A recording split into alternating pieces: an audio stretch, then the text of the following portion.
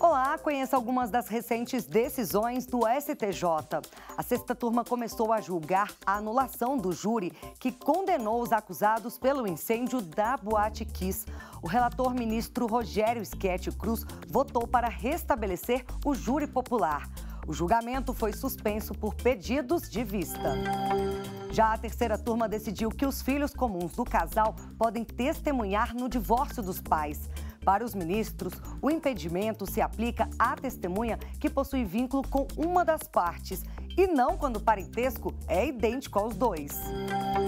A terceira turma também reconheceu a obrigação de plano de saúde de cobrir sessões de ecoterapia para síndrome de Down e lesão cerebral.